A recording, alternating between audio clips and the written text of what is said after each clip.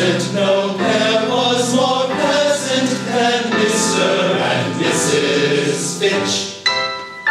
Their days, each one dollar, was lacking in color. They didn't know which was which. When suddenly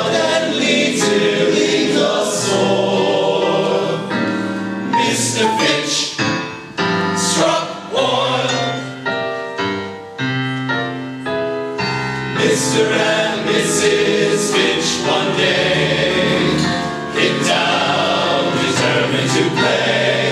Mr. and Mrs. Fitch were green, ambitious but rich. And soon the crowd they called elite were fighting madly to meet the young, attractive and rich Mr. and Mrs. Fitch. When they called for champagne, champagne arrived. An aeroplane, a plane arrived.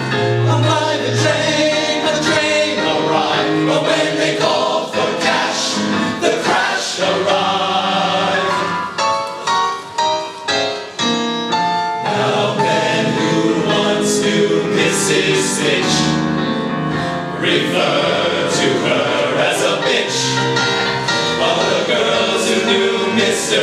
Fitch